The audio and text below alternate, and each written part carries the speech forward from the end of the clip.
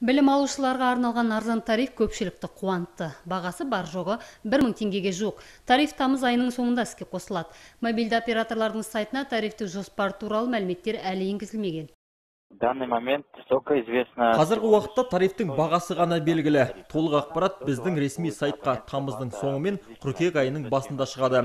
Тарифтің құны 990 теңге. Қоңырау шалу мен SMS хабарламалар минутына 18 теңге. Интернет трафик 1 гигабайт және лимитсіз интернет қосылады. Басқа тарифтермен салыстырғанда білім тарифінде интернет трафигі аздау, 1 гигабайт қана. Білім басқармасының мамандары бұл трафик оқушылардың тек білім мазмұнына арналған ресурстарды қолдануына жеткілікті деп отыр. Демек оқушы басқа сайттар мен мобильді қосымшаларға, виртуалды ойындар мен әлеуметтік желілерге емін-еркін кіре алмайды. Аталмыш тариф педагог пен оқушы арасында лимитсіз қоңырауларға мүмкіндік береді және білім министрлігі анықтаған оқу ресурстарына тегін қосыла алады. Облыс бойынша 7870 оқушыға әлеуметтік жағдайы төмен оқушыларға тегін интернет роутерлар таратылады.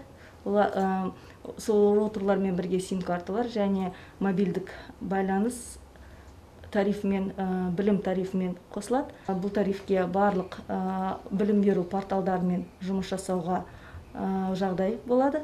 Яғни білім ленд жүйесіне оқушылардың кіруі күнделік жүйесінде жұмыс жасауы білім ленд жүйесінде онлайн мектеп арқылы сабақ оқулары тағы да дан онлайн несіне платформасына кіріп сол жерден білім алуларына мүмкіндіктері болады.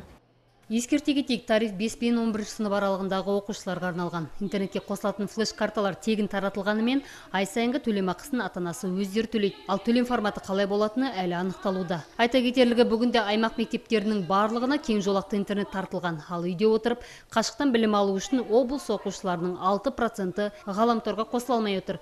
Білім тарифі осы шәкірттердің мәселесін оңынан шешуге мүмкіндік береді. Ердігүл Дадыбасқызы Сабыр Құлатай Шоқан Таукеев, Көкше ақпарат.